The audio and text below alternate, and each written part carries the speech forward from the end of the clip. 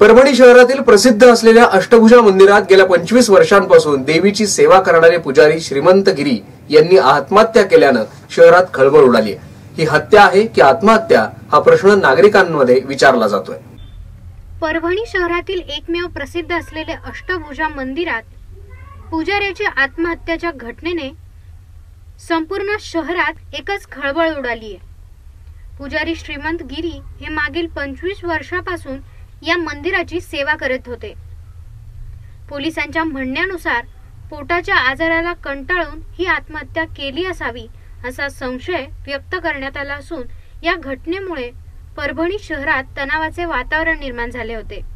परभणी शहरातील मुख्य भागात असलेले अष्टभुजा मंदिर या मंदिराची ख्याती पुरातनकालीन असून जिल्ह्यात नव्हे तर देशभरातून या देवीच्या दर्शनासाठी भाविक आपली दररोज हजेरी लावतात.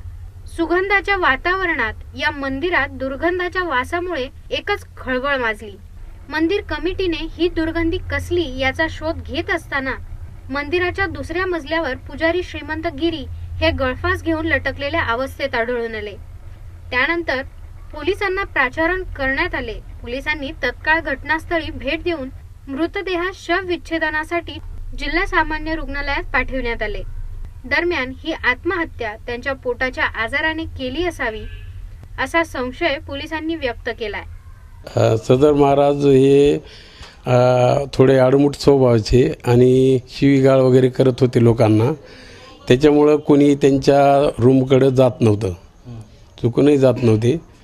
ते खाली आल्यावरच मग बोलायचे.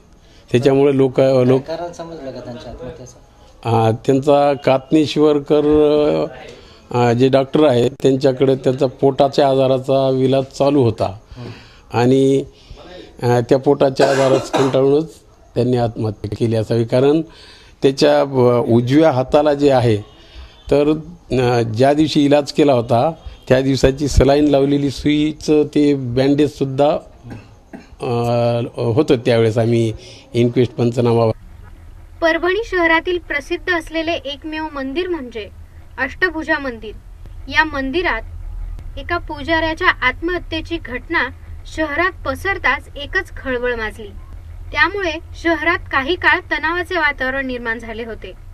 हा घात आहे की अपघात यावर पोलिसांचे संशय होते.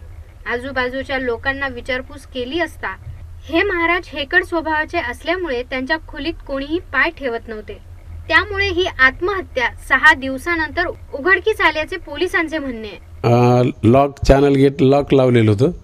ते तोडून पंचासमक्ष आम्ही मध्ये गेलो तर सोमारगिरी महाराज म्हणून आहे वय अंदाजे पासष्ट वर्ष. याने पोटाच्या आजारास कंटाळून त्यानं गळफास घेऊन आत्महत्या केली असं लोकांचं म्हणणं आहे. आणि आम्ही स्वतः प्रत्यक्ष जाऊन इन्क्वेस्ट पंचनामा भरला.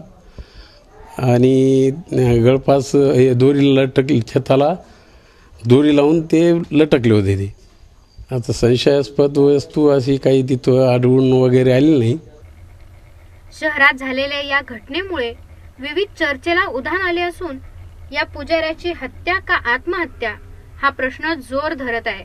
सहा दिवसापासून या पुजाऱ्याचे मृतदेह मंदिरातील दुसऱ्या मजल्यावरील खोलीत लटकत असून मंदिर कमिटीला याबाबतची कोणतीही माहिती नसल्याने लोक संशय व्यक्त करीत आहेत.